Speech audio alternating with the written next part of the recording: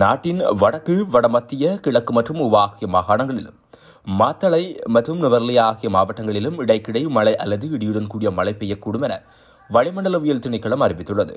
இதுகுறித்து வளிமண்டலவியல் திணைக்களம் வெளியிட்டுள்ள செய்திக்குறிப்பில் மேல் சப்ரகம்புவ மற்றும் வடமேல் ஆகிய மாகாணங்களிலும் காலி மற்றும் மாத்தரை ஆகிய மாவட்டங்களிலும்.